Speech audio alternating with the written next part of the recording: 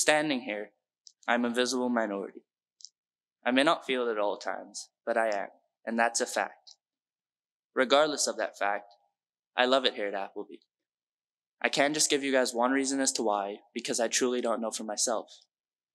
Whether it's the great community we've created with all the friendly faces everywhere we look, or all the trips and experiences I've had over the years. Right here, okay, maybe not in this chapel, but at this school in general, we've created a bubble, a place we can look around and see smiling faces filled with kind hearted people pretty much everywhere we look. And that's a great thing for the most part. Just once we don't forget there's a greater world beyond us, and it's filled with many things that many of us will never expect. And that's where I think we as a community, uh, as a community need to improve together.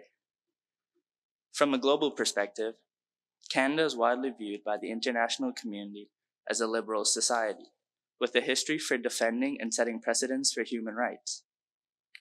Unlike our neighbors to the south, we share a more inclusive and equal understanding on controversial topics. The advancement of universal healthcare, Indigenous rights, LGBTQ rights in Canada have further pushed the left wing narrative of the Canadian government. At this moment in our lives, we're living under the liberal federal government in Canada. These liberalized policies of post secondary, secondary, and elementary schools have created a mirror effect on our government's ideology and education. It's commonly known you don't bite the hand that feeds you. By default, the same thing has happened at Appleby. We adopted this way of going about life more or less. To propose an alternate view or opinion on a subject matter of controversy often draws the attention of the class quite easily because it's not expected that an Appleby student would say something like that. It's not normal for us to see people challenge the typical Appleby way of thinking. Some teachers, not all, but some, try to steer clear of topics that would start conflicts to avoid having that conversation. But that's what we need to talk about the hard things, the ones that make us all feel uncomfortable. Otherwise, how will we get any better? Appleby, as an international school, needs to do better. We need to create that space where differences and ideas are not shied away from, but when they have arisen, are encouraged to elaborate and respectfully debate about. That's how progress is made. That's how change comes and goes. And disclaimer the following is going to seem quite ironic. I think the most overdue for revision at Appleby is the way they choose to raise social awareness and enlighten us on current events. Although the current system works to inform us as a community, I believe it fails to engage many of us, leading to a disconnect when it comes to topics of these relations. Individuals who are not well informed on social topics, let's not be ignorant, there are quite a few of us. There are many things I myself don't know. These people tend to exert a type of behavior where they become more uninterested or irritable when it comes up.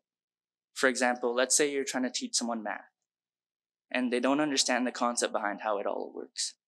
How will they grasp it? To answer that, they won't. And if you keep forcing them to learn the work without understanding, they'll grow frustrated and probably a dislike for math too. The same thing is happening with a variety of social topics around the community today. With no offense meant to anyone, I find it quite interesting how it's the people who watched racism happen all their life.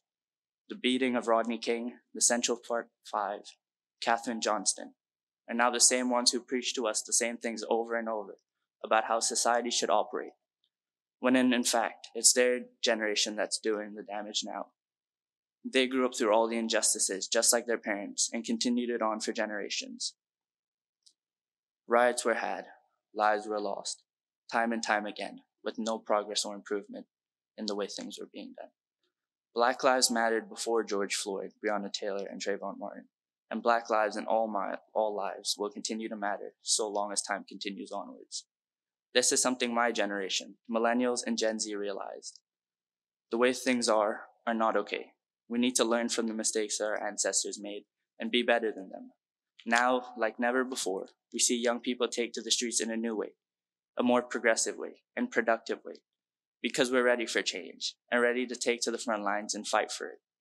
After the horrible death of George Floyd, we saw young people take to the streets and fight primarily between the ages of 16 and 34 all over the world. America, Japan, Italy, the UK, millions of people out to support and just as many fighting on the media front. all to fix something that should never have been a problem from the start. Basic, equal human rights for all. So, my last challenge to each of you ask questions. Ask them about everything and anything you don't understand. It's not about seeming more dominant or politically correct in the way you talk. It's about how you carry yourself and represent yourself through your actions. So dare to be bold. Dare to ask the big questions. Carry yourselves in a way you want to be seen, because your actions will always speak louder than your words. So ask the questions. Take the time to learn about what's happening around you. Learn about your past, your history, the world's history. Educate yourselves. So when the conversation does come up, it's not avoided or unsettling to talk about. You're ready to engage and share your opinions towards this topic. To help bring about a new and enticing way of change, I am excited to say I'll be launching a new initiative called Woke Wednesdays on behalf of Powell's House contribution to the community.